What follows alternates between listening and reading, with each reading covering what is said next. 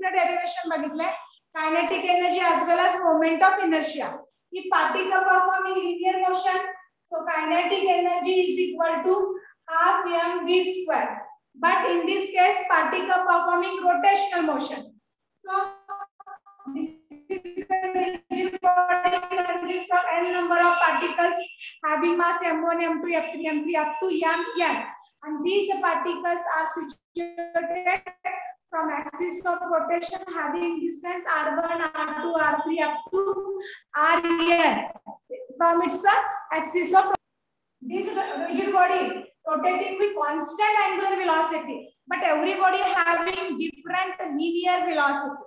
Angular velocity सगळ्यांची constant असेल पण लिनियर व्हिलॉसिटी थ्रू सगळ्यांची कशी असणार आहे same linear angular velocity same constant असेल but linear velocity is different for every particle. So linear velocity v is equal to r omega. So for first particle v1 is equal to r1 into omega, v2 is equal to r2 into omega and so on. So we have to just revise in general formula. So v is equal to r into omega. So kinetic energy is equal to kinetic energy is half of mv square. So here v is replaced by r omega. So in this case, half of m, v is replaced by r omega. So square of that term, so we get half of m. So this is r square omega square. So in this case, we have r square, product of mass and square of distance from axis of rotation. And this is nothing but moment of inertia, symbolically represented as a r. So that is equal to half of i omega square. So this is expression for kinetic energy of rotating rigid body. So here I represent as a moment of inertia. So in general formula for moment of inertia is mr square. So product of multiplication है ना कोणा कोणाचा आहे product of mass of each particle and square of distance from axis of rotation that is called as a moment of inertia. I is equal to m r square. Unit dimensions बघत असताना m mass आहे unit त्याचा KG असेल R distance आहे डिस्टन्ससाठी unit असेल त्याचा metre square असेल so KG metre square it is unit of moment of inertia and डायमेन्शनसाठी M S two one M S two two T S two zero these are the dimensions of moment of inertia आता moment of inertia कुणावर depend असते?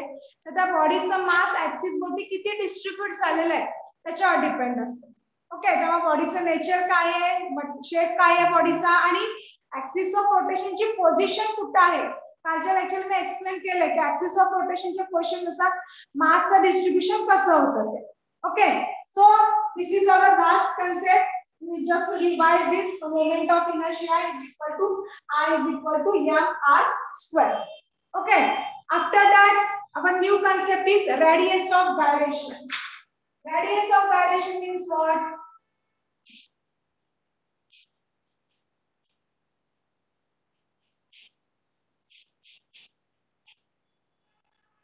radius of gyration. Symbolically, it is represented as a capital K. Radius of gyration K. आता radius of gyration म्हणजे नेमकं काय आपल्याला बघायचं आहे की बऱ्याच वेळेला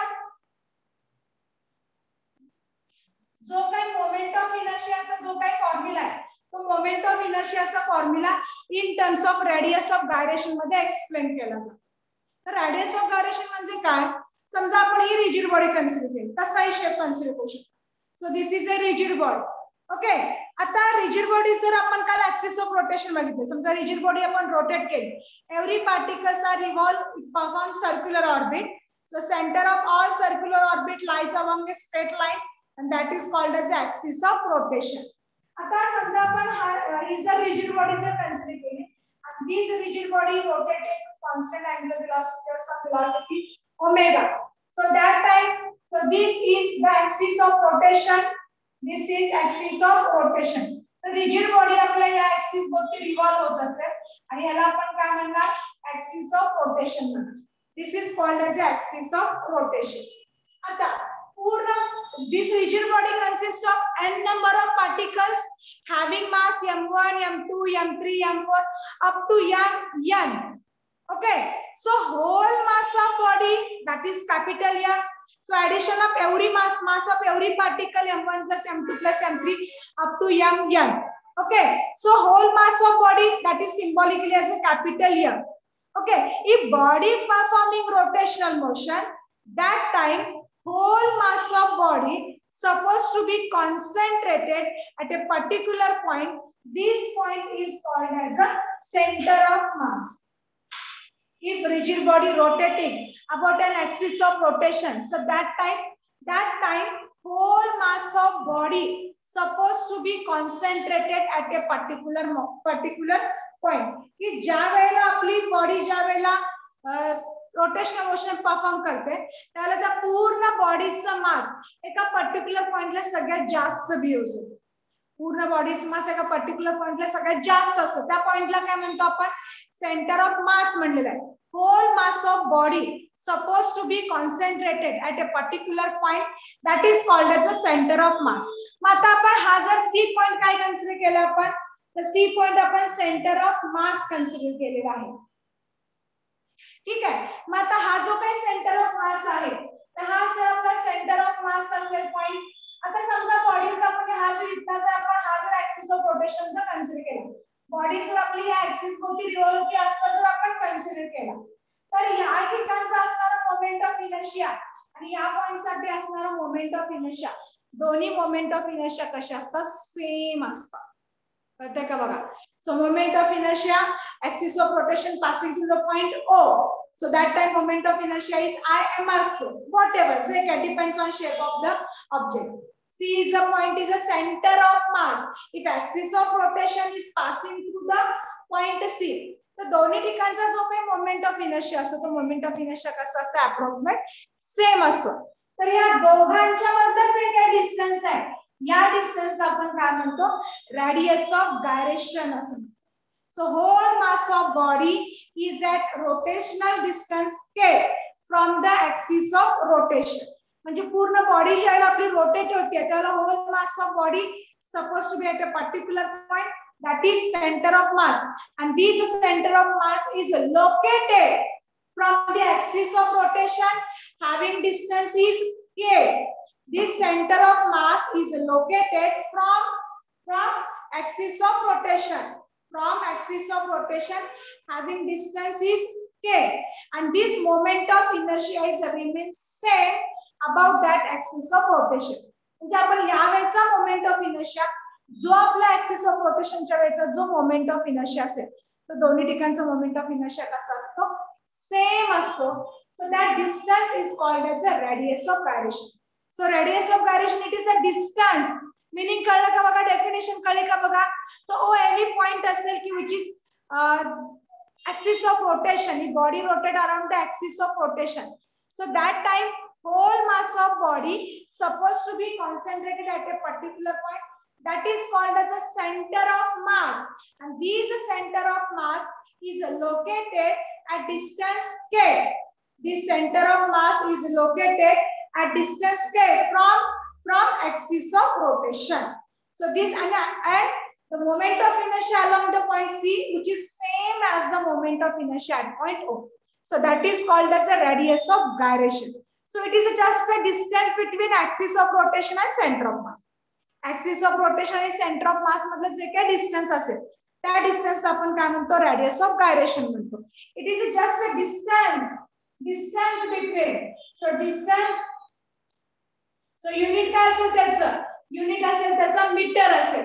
रेडियस ऑफ गायरेशनसाठी युनिट काय असेल? Metre it is just a distance आता फॉर्म्युला जर म्हणला तर मोमेंट ऑफ़ इनर्शियाचा फॉर्म्युला इन जनरल फॉर्म्युला काय आहे सांगा?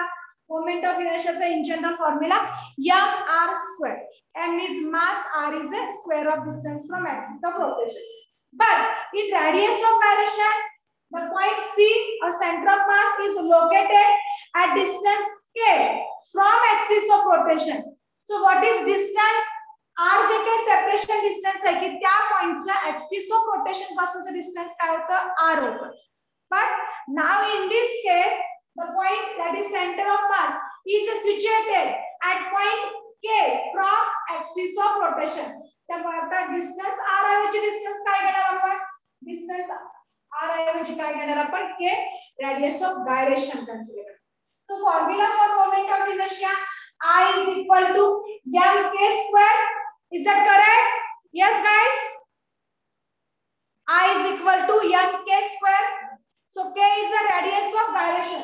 So rearranging this equation, k square is k square is equal to I upon m h है taking root on both sides. So radius of gyration under root I upon m. So this is expression for radius of gyration. Listen याच्यावरून पण काढू शकता मीटरच unit आहे I म्हणजे moment of inertia ना moment of इनर्शियासाठी काय असते केजी मीटर स्क्वेअर असतं ना बरोबर एम म्हणजे मास आहे हा साठी काय येणार? केजी येणार का? केजी केजी कॅन्सल होईल का? आणि हे सगळं कशात येणार? रूटमध्ये येणार. रूट ऑफ मीटर स्क्वेअर काय येतं? रूट ऑफ मीटर स्क्वेअर म्हणजे फक्त मीटर येईल की नाही? कळलं? ओके लक्षात आली का सांगा रेडियस ऑफ डायरेक्शन चिट्टा सेंटर ऑफ मास आणि ऍक्सिस ऑफ रोटेशन या दोघांच्या मधलं जे डिस्टन्स आहे. त्या डिस्टन्सला आपण रेडियस ऑफ डायरेक्शन म्हणतो. Whose moment of inertia is same as the moment of inertia about an axis of rotation. So separation distance is k and this k is called as a radius of gyration. Okay guys, is that clear? समजलं का सांगा सगळ्यांना radius of gyration concept? एखादं तुम्हाला नंतर moment of inertia काढल्यानंतर radius of गायरेशनमध्ये पण कसं काढायचं हे मी पुढे एक्सप्लेन करते जसं आपण moment of इनर्शियाचा in general formula M R square लिहितो तर आता आर म्हणजे distance from axis of rotation आहे ना मग या कंडिशनमध्ये त्या पॉइंटचा ऍक्सिस ऑफ रोटेशन पासूनचं डिस्टन्स किती आहे? इट इज के द पॉइंटचा ऍक्सिस ऑफ रोटेशनपासून डिस्टन्स किती के झालं ना? तर मग एम आर स्क्वेअर ऐवजी काय या ठिकाणी? M K square The radius of direction is root of moment of inertia divided by mass okay समजलं कन्सेप्ट लक्षात आलं का सांगा? It is radius of direction next one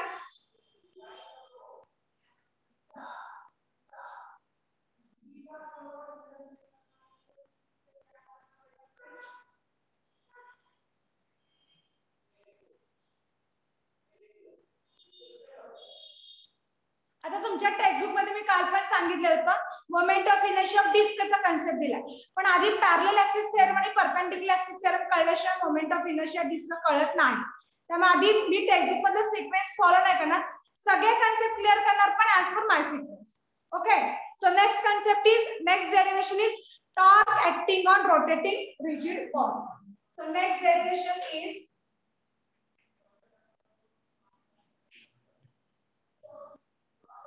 torque acting on rotating rigid body.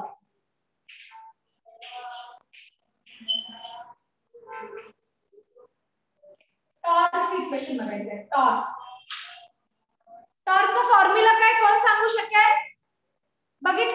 formula formula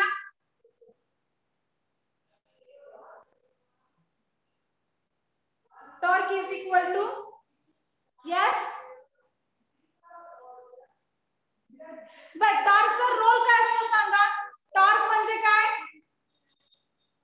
अरे झालंय की सांगितलंय ना बऱ्याच वेळेला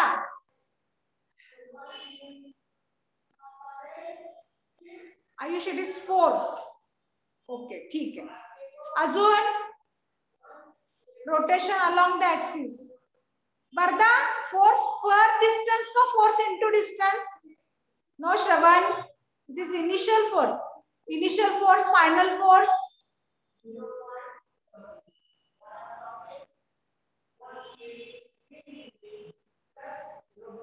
अच्छा perpendicular okay okay perpendicular distance okay yes Vardha yes force into perpendicular distance I think force per metre यानी कि मल्टीवाइडेशन असं force into perpendicular distance. Okay. Yes, torque is analogous to which term? Torque is analogous to which term? Torque is analogous to which term?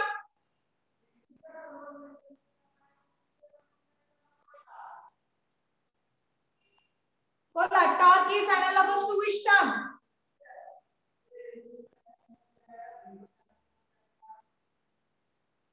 हाँ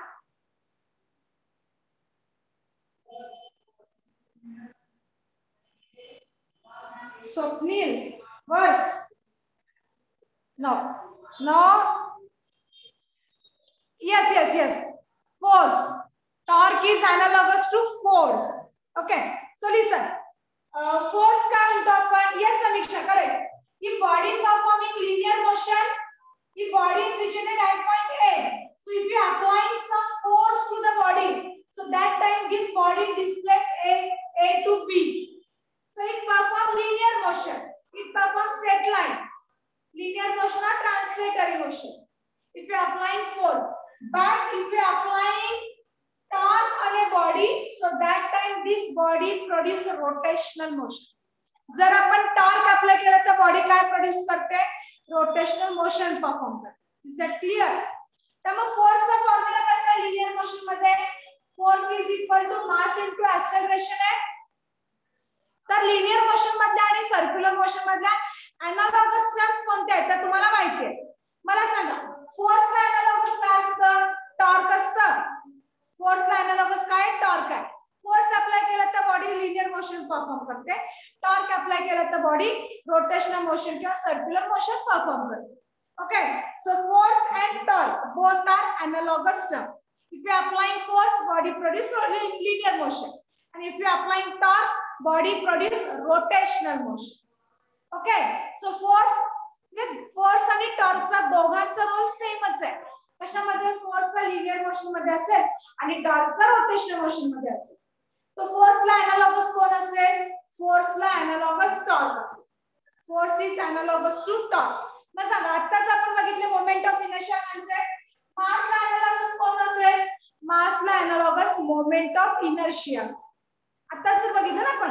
Half M V square half I omega square so mass is analogous to moment of inertia Uh, the role of mass in linear motion is same as the role of moment of inertia in rotational motion. A है in terms of linear motion, but body performing uh, rotational motion.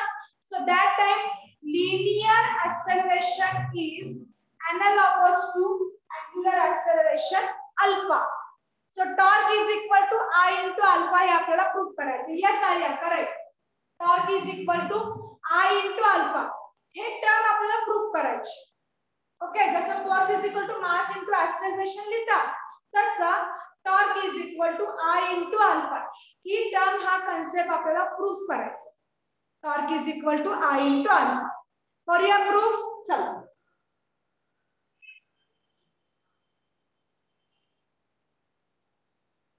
torque is equal to I into alpha. Same way, consider a rigid body this rigid body rotating about an axis of rotation with constant angular acceleration.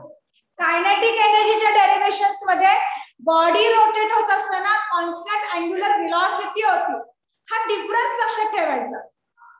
Okay kinetic energy derivation of I omega square पाहिजे होतं. बरोबर का? तेव्हा derivation लक्षात ठेवताना कसं लक्षात ठेवायचं व्यवस्थित ऐका. कायनेटिक एनर्जीच्या डेरिवेशनमध्ये बॉडी रोटेट होत असताना अँग्युलर विलॉसिटी कॉन्स्टंट होती. इथं आपण टॉर्कचं डेरिवेशन बघतोय.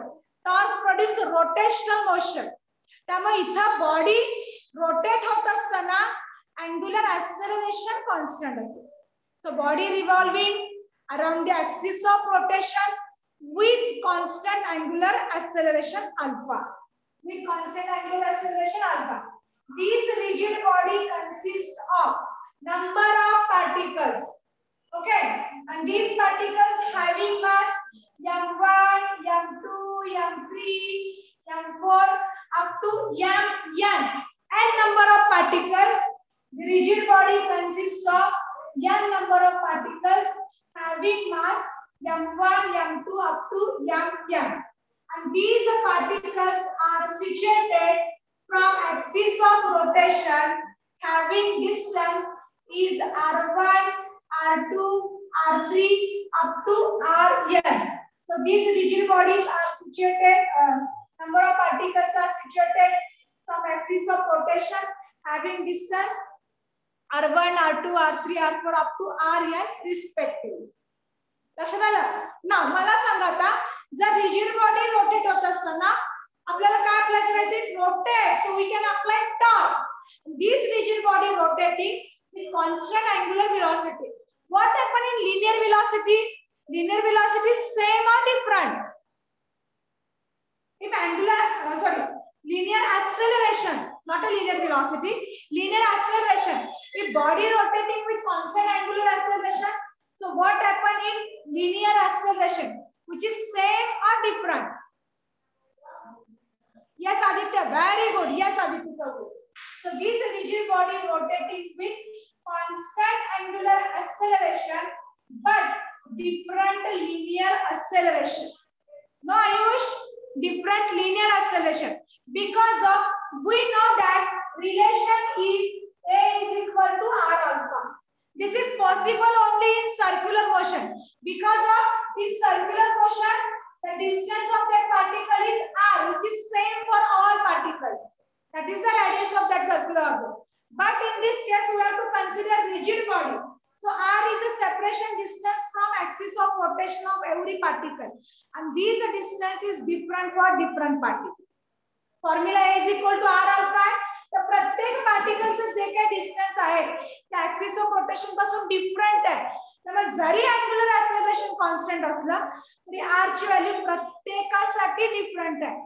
So it possessing different linear acceleration लक्षात आलं त्याचं रिझन काय असेल लिनियर ऍक्सलरेशन डिफरंट असेल? Because of every particle is situated at different position. From the axis of rotation r1 r2 r3 up to rn like that. Okay? Is that clear? Okay. So relation between relation a and alpha. A is equal to r alpha.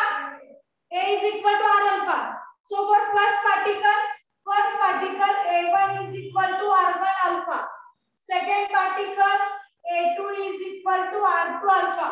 Up to n particle n particle a n is equal to r n into alpha Rean particle AN is equal to Rn into alpha. Okay, is that clear? Barabar ka? The rigid body rotating with constant angular acceleration but different linear acceleration. Okay, so according to Newton's second law, Newton's second law, Newton's second law, force is equal to mass into acceleration.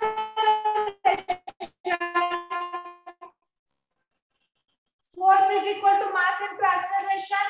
But acceleration A is equal to this linear acceleration is replaced by R into alpha. So first particle force F1 is equal to M1 A1 particle. F1 is equal to M1 into uh, M1 into A1. We know that A1 is equal to put A1 is equal to what? A1 is equal to R1 into alpha. A1 is equal to R1 into alpha. Okay, so this A1 term is replaced by R1 into alpha. So therefore, F1 as it is M1.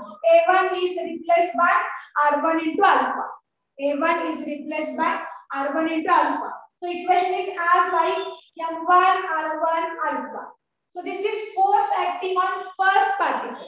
Similarly, second particle M2 is equal to M2 R2 alpha.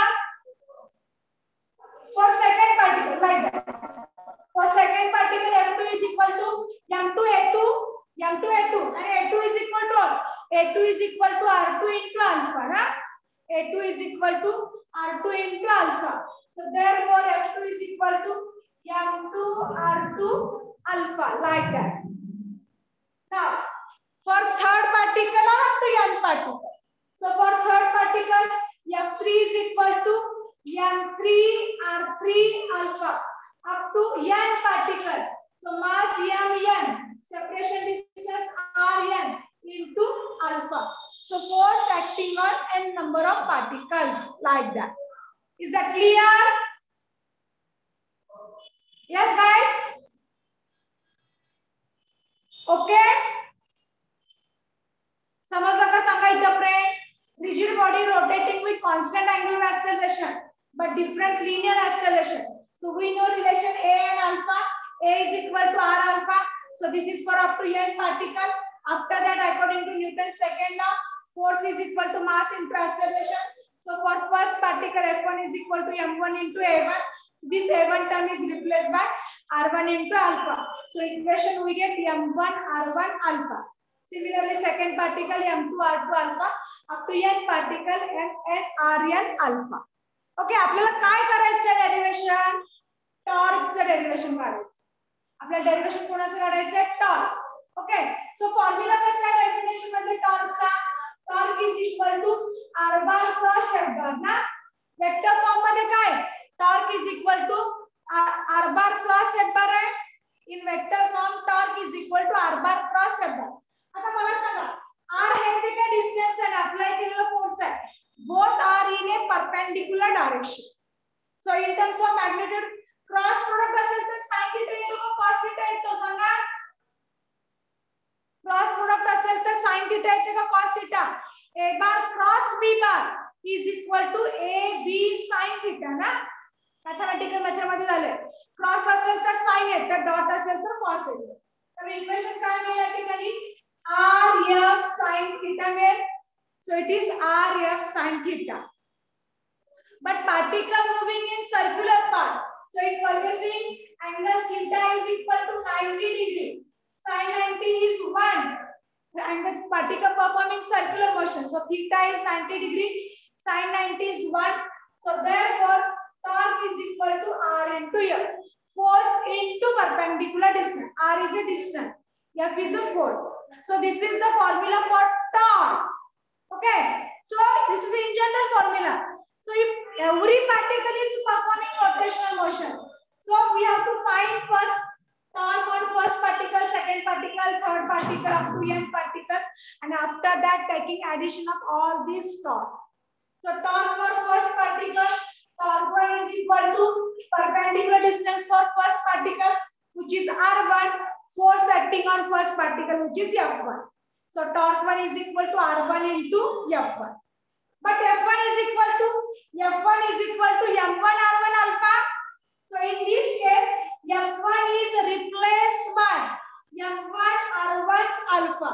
So equation is torque 1 is equal to R1 as it is. Just wait. Adjust the camera. Oh. Uh, torque is equal to R1 F1 and this F1 is replaced by M1 R1 alpha. So R1 as it is, F1 is replaced by M1 R1 alpha. R1 R1, we get R1 square. So equation is M1 R1 square into alpha. This is torque 1. M1 R1 square alpha. Is that clear? Yes, guys?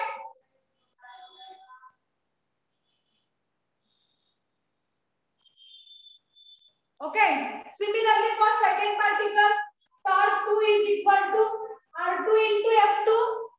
Torque 2 is equal to R2 into F2. But F2 is replaced by M2 R2 alpha. F2 is replaced by M2 R2 alpha. So therefore, R2 as it is, F2 is replaced by M2 R2 alpha. So therefore, M2 R2 square into alpha. R2 R2 R2 square. So M2 R2 square up to alpha into alpha. Up to n particle, torque n is equal to m n r n square into alpha like that.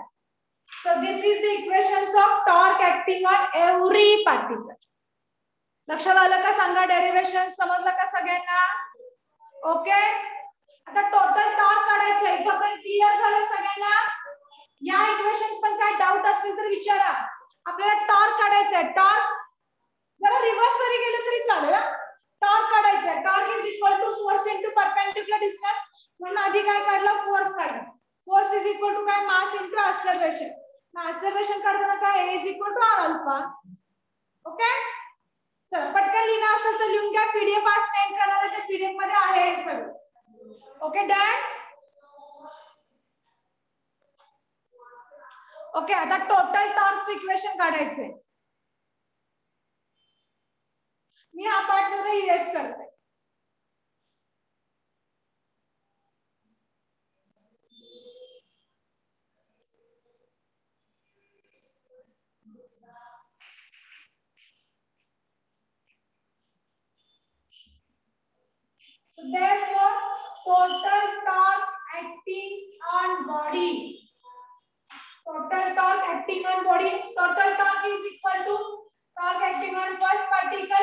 For second particle plus for third particle up to for n particle torque acting on up to n particle so torque is equal to for first particle so torque acting on for first particle the equation is m1 r1 square alpha plus for second particle this equation is m2 r2 square alpha up to n particle the equation is m n r n square alpha m n r n square alpha. In this equation, only alpha is a common term. So common term taken as outside.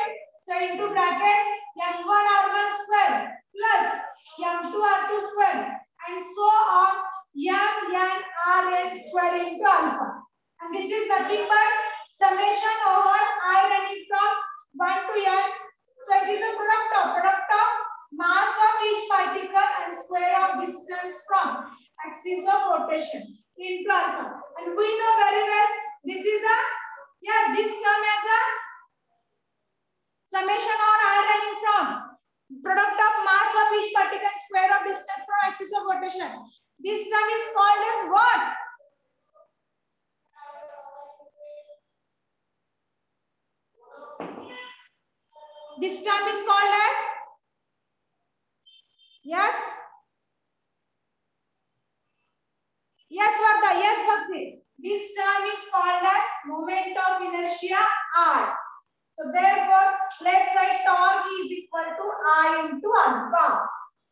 Torque is equal to I into alpha.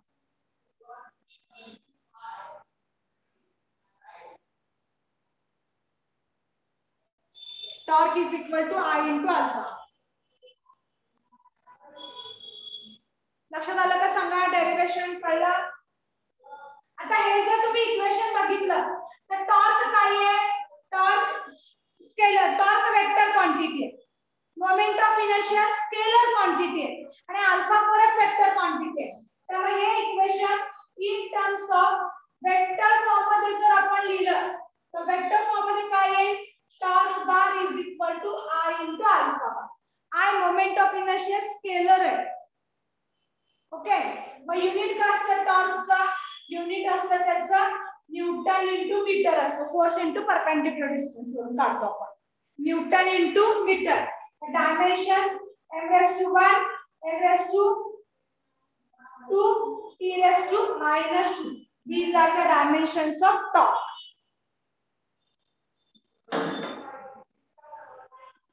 torque is equal to force into perpendicular distance force at newton perpendicular distance at meter so dimensions are m raised to 1 m raised to 2 t raised to minus 2 okay समजलं का बघा derivation लक्षात आलं का संगा? Clear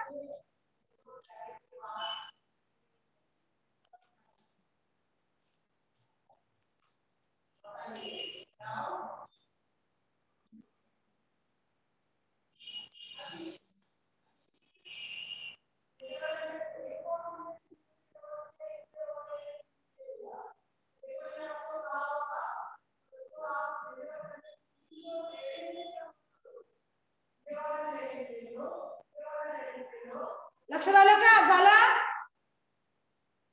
मला सांगा derivation कळलं का सांगा? टॉर्कचं पहिलं डेरिवेशन कायनेटिक एनर्जीचं बघितलंय. कायनेटिक एनर्जी मध्ये बॉडी रोटेट होत असताना अँग्युलर विलॉसिटी कॉन्स्टंट आहे आणि लिनियर विलॉसिटी डिफरंट आहे. टॉर्च इक्वेशन बघत असताना अँग्युलर acceleration कॉन्स्टंट आहे. Linear acceleration variable yes Sakshi. Okay good कळलं? ठीक आहे okay done yes Bhakti okay good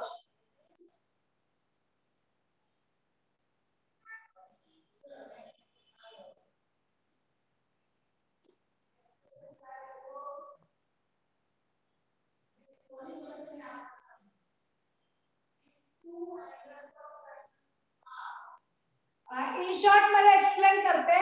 kinetic एनर्जीचं डेरिवेशन आणि टॉर्चचे दोन डेरिवेशन आपण बघितले. कायनेटिक एनर्जी मध्ये अँग्युलर व्हेलॉसिटी कॉन्स्टंट घेतो. इकडे आपण अल्फ़ा कॉन्स्टंट घेतो. त्यामुळे v is equal to R into omega इथं रिलेशन वापरतो. इथं रिलेशन यूज़ करताना आपण a is equal to R into alpha relation आपण यूज़ करतो. Kinetic energy half of V square आहे.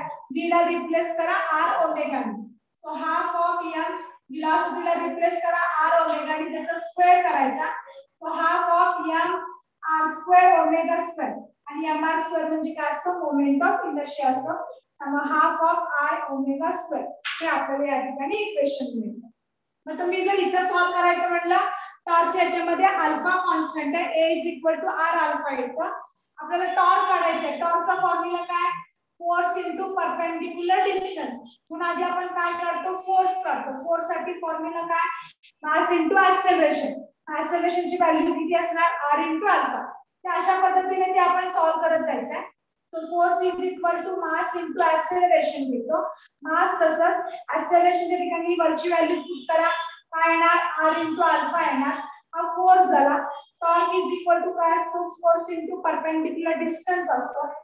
फोर्स या फोर्स काय आलाय एम आर अल्फ़ा हा फोर्स आलाय so M R alpha force झाला इंटू परपेंडिक्युलर डिस्टन्स आर झाला आर आर दोन्ही मिळून आर स्क्वेअर तयार होतो त्यामुळे इक्वेशन मिळतं आपल्याला M R square into alpha मिळतं आणि एम आर स्क्वेअर आपण काय म्हणतो मोमेंट ऑफ़ इनर्शिया आय म्हणतो तर torque is equal to I into alpha लक्षात आलं इन शॉर्ट कशा पद्धतीने डेरिवेशन आहे हे आपण इन जनरल काढलंय. हेच एक्सप्लेन करताना डेरिवेशनमध्ये कसं प्रेझेंट करणार? Rigid body consist of N number of particles having mass M one M two M three up to M N and these particles are situated from axis of rotation having distances R one R two R three up to R N मग प्रत्येक पार्टिकलसाठी काढायचं.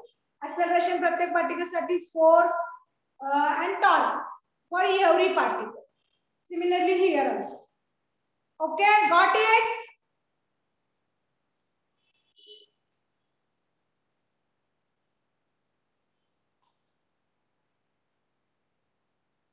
Next concept is angular momentum and its a conservation.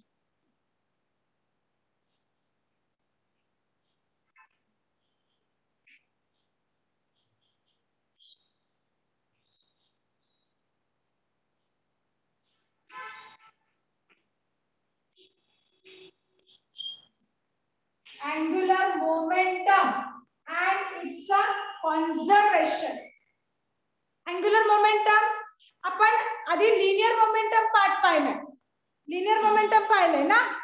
Linear momentum चो formula संगा. If body perform linear motion so it possess linear momentum but in in that case body perform rotational motion so here is angular momentum what is mean by linear momentum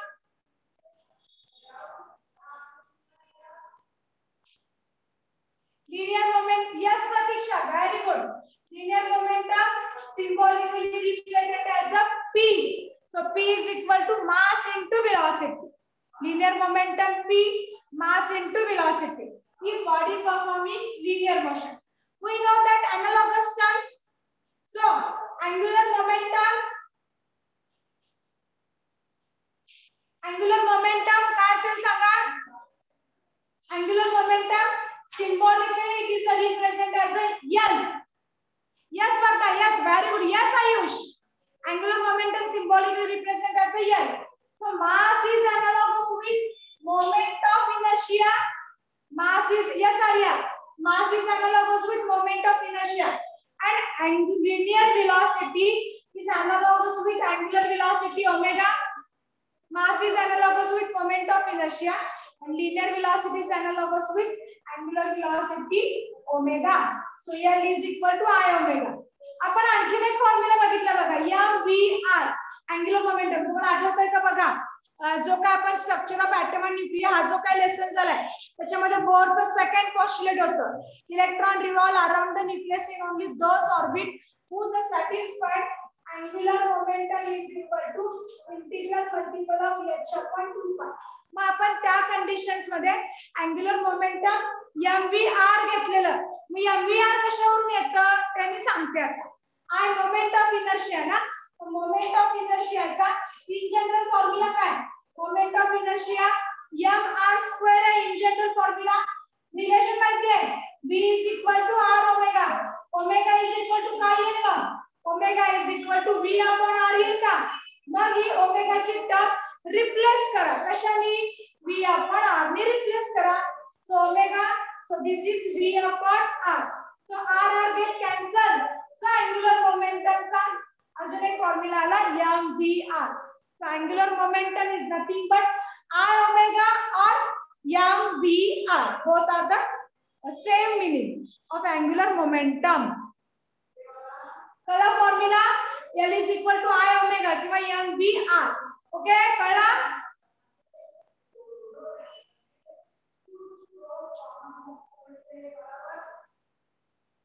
लक्षात का आता हे just we to introduce momentum formula basic आता हे L is equal to omega hey proof करायचे जो काय आपला angular मोमेंटमचा formula आहे L is equal to omega हा प्रूफ करायचा आणि त्याचं कॉन्झर्वेशन पण बघायचंय. कॉन्झर्वेशन याचा अर्थ काय? एखादी बॉडी जर रोटेशनल मोशन परफॉर्म करत असेल so that time it's their angular momentum is remains constant. If external torque acting on a body is zero. जर एक्सटर्नल टॉर्क अप्लाय केलेला जर झिरो असेल तर अँग्युलर मोमेंटम तिथलं नेहमी कसं असतं? सेम असतं कॉन्स्टंट असतं. हे आपल्याला प्रूफ करायचं तर त्याच्या आधी आपण अँग्युलर मोमेंटमचं एक्सप्रेशन तर बघूया. L is equal to I omega hey proof करायचंय. तुम्ही करू शकता आता. एक बेसिक आयडिया देते तुम्हाला. आपल्याला काय प्रूफ करायचंय? L is equal to I into omega proof करायचंय. आता आय म्हणजे काय? मोमेंट ऑफ इनर्शिया ना? म्हणजे आपल्याला काय यायला पाहिजे. एम आर स्क्वेअर फॉर्म्युला मध्ये यायला पाहिजे. एम आर स्क्वेअर यायला पाहिजे ना फॉर्म्युला मध्ये? कळतंय का? आणि ओमेगा पाहिजे मग बॉडी इथं जी काय रिव्हॉल्व होणार आहे सो बॉडी रिव्हॉल्व होत असताना जे काय आपण कन्सिडर करणार आहे त्या ठिकाणची अँग्युलर ओमेगा पाहिजे आपल्याला. म्हणून अँग्युलर विलॉसिटी काय असणार आहे? कॉन्स्टंट असणार. मग घेताना काय घेणार? अँग्युलर विलॉसिटी कॉन्स्टंट घेणार. लिनियर विलॉसिटी काय असणार? Variable so v is equal to काय असणार? R ओमेगा पहिल्या पार्टिकलसाठी v1 r1 omega v2 is equal to r2 omega v3 is equal to r3 omega and so on like that v is equal to r omega आला मोमेंटमचा formula mass into velocity momentum mass into velocity वेलोसिटीला replace करा r omega ने so therefore m r आला का momentum. This is linear momentum. So angular momentum is equal to linear momentum into perpendicular distance. This is one more formula of angular momentum. Mvr i omega or linear momentum into perpendicular distance. So linear momentum is so this is m r omega into perpendicular distance is r. R into r we get r square So that is m r square omega. और m r square का मतलब क्या होता है? I होता है ना moment of inertia. So this is I into omega, like that. समजलं का कसं प्रूफ करायचंय मग आता आपण हे काढलंय, ते n नंबर ऑफ़ पार्टिकल साठी सगळ्यांसाठी कन्सिडर करायचं बॉडी रिव्हॉल्व होताना कॉन्स्टंट अँग्युलर वेलोसिटी असेल so v is equal to r omega momentum mass into velocity velocity replace by r omega So m r omega ला angular momentum p mass into velocity m into v येणार ना so uh, momentum च्या ठिकाणी m r omega put करा into perpendicular distance r r r square so m r square is nothing but r हे जसं काढलं आपण तसं आपण n number of rigid body साठी कन्सिडर करायचं number of particles साठी consider a rigid body this rigid body is rotating around the axis of rotation with constant angular velocity but different linear velocity. Constant angular velocity but different linear velocity. आधी मला सांगा derivations कसे येतात समजतोय का? आधी आपण rigid body axis of rotation moment of inertia kinetic एनर्जीचं equation आता टॉर्कचं equation आणि हे पुढचं बघतो आपण अँग्युलर मोमेंटमचं इक्वेशन बघतो. कळताय? लक्षात येतात derivation okay yes okay chalo uh, so this rigid body consists of n number of particles having mass m1 m2 m3 up to mn these particles are situated having distance yeah r1 r2 r3 up to rn from axis of rotation प्रत्येकाचं मास m1 m2 up to mn and every particle is situated at distance r1, r2, r3 up to rm. So this body is rotating with constant angular velocity omega, but different linear velocity. But different linear velocity. So we know very well linear velocity v is equal to r omega. So for first particle, for first particle V1 is equal to R1 into omega. So this V1 is equal to R1 into omega. For second particle, V2 is equal to R2 into omega. Up to n particle, Vn is equal to Rn into omega. Vn is equal to Rn into omega. After that, linear momentum. So linear momentum is given by linear momentum. Linear momentum. So that is linear momentum is mass into velocity. So for first particle, P1 is equal to M1 into V1. Linear momentum for first particle, P1 is equal to M1 into V1. But V1 is equal to what? V1 is equal to R omega. V1 is equal to R omega. So here M1 as it is V1 is equal to R1 into omega. Second one, P2 is equal to M2 R2 omega up to N particle M, N, R, N omega. So this is linear momentum. After that, angular momentum. So therefore, angular momentum is equal to angular momentum is equal to linear momentum into perpendicular distance. Linear momentum into perpendicular distance. For first particle, L1 is equal to P1 into R1. P1 is equal to what? P1 is equal to M1 R1 omega. M1 R1 omega. So P1 is equal to M1 R1 omega into R1. So this R1 R1 R1 square. So equation is M1 R1 square into omega. This is angular momentum for first particle. Similarly, for second particle, L2 is equal to M2 R2 square omega up to N particle, Ln is equal to M, M, N Rn square omega.